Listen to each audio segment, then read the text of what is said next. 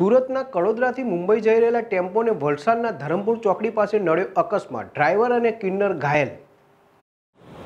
સુરતના કડોદરાથી સામાન ભરી મુંબઈ જઈ રહેલા એક tempo number DD zero one C C nine six two ટુનો ચાલક સલમાન અને ક્લીનર મોઇન સુરતથી ટેમ્પામાં સામાન ભરીને મુંબઈ તરફ જઈ રહ્યા હતા.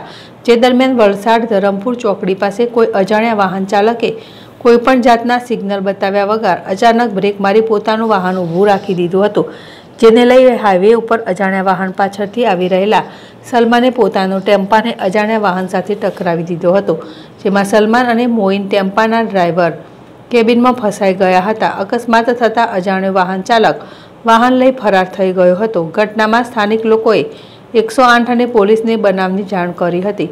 સિટી પોલીસે ક્રેનની મદદ વડે ટેમ્પામાં ડ્રાઈવર કેબિનમાં ફસાઈ ગયેલા સલમાન અને મોઇનને ટેમ્પામાંથી બહાર કાઢ્યા હતા. એકસો આઠ ટીમની મદદ વડે બંને ઇજાગ્રસ્તોને તાત્કાલિક સિવિલ હોસ્પિટલ ખાતે સારવાર માટે ખસેડાયા હતા. સિટી પોલીસની ટીમે ઘટના સ્થળે પહોંચી આગળની તપાસ હાથ ધરી છે. અકસ્માતને લઈ વલસાડના ધરમપુર ચોકડી ઉપર કલાકથી વધુ ટ્રાફિક જામના દ્રશ્યો જોવા મળ્યા હતા. કેર મિસ્ત્રી જેડેશ ટીવી, વલસાડ.